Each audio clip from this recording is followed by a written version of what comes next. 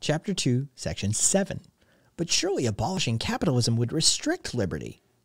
Many so called anarcho capitalists and other supporters of capitalism will argue that it would be authoritarian to restrict the number of alternatives that people can choose between by abolishing capitalism. If workers become wage laborers, so it is argued, it's because they value other things more. Otherwise, they would not agree to the exchange.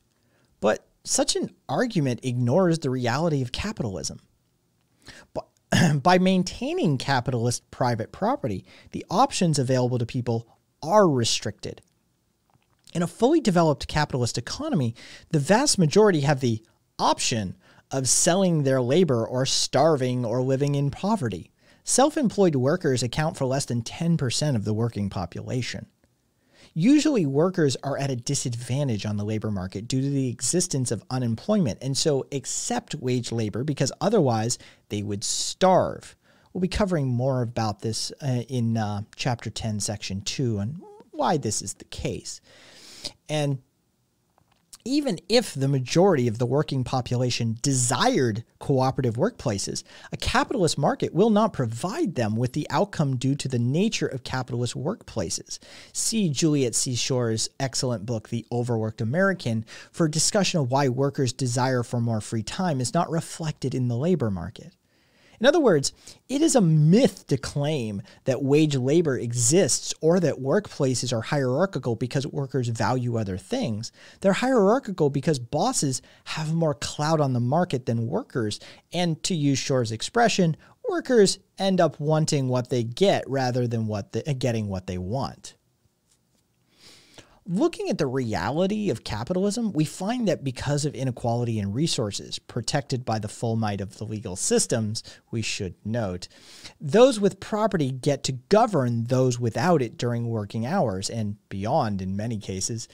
If the supporters of capitalism were actually concerned about liberty as opposed to property, their situation would be abhorrent to them. After all, individuals can no longer exercise their, their ability to make decisions, choices, and are reduced to being order takers. If choice and liberty are the things we value, then the ability to make choices in all aspects of life automatically follows, including during work hours. However, the authoritarian relationships and the continual violation of autonomy wage labor implies are irrelevant to these so called anarcho capitalists. Indeed, attempts to change this situation are denounced as violations of the autonomy of the property owner. By purely concentrating on the moment that a contract is signed, they blind themselves to the restricts of liberty that wage contracts create. Of course, anarchists have no desire to ban wage labor we aim to create a society within which people are not forced by circumstances to sell their liberty to others. In order to do this, anarchists propose a modification of property and property rights to ensure true freedom of choice, a freedom of choice denied to us by capitalism.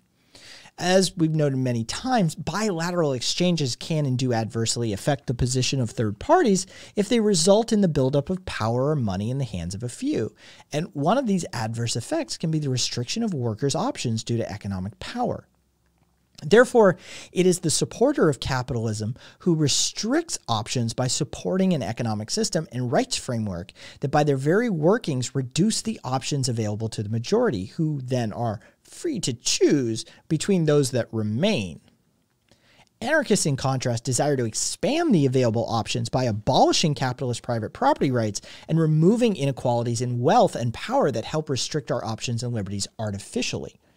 So, does an anarchist society have much to fear from the spread of wage labor from within? Probably not. If we look at societies such as the early United States or the beginnings of the Industrial Revolution in Britain, for example, we find that given the choice, most people preferred to work for themselves. Capitalists found it hard enough to find workers to employ, and the amount of wages that had to be offered to hire workers were so high that to destroy any profit margin.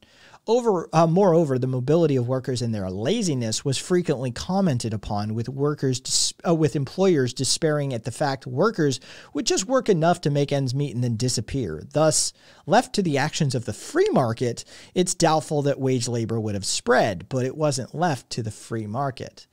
In response to these problems, capitalists turned, turned to the state and enforced various restrictions on society, the most important being the land tariffs and money monopolies.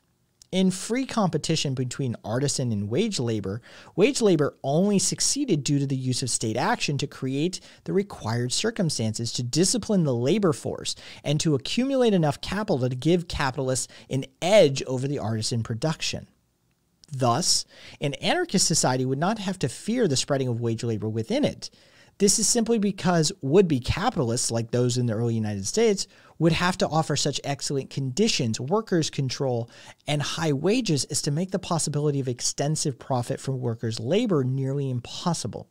Without the, uh, without the state to support them, they will not be able to accumulate enough capital to give them an advantage within a free society. Moreover, it's somewhat ironic to hear capitalists talking about anarchism denying choice when we oppose wage labor, considering the fact that workers were not given any choice when the capitalists used the state to develop wage labor in the first place.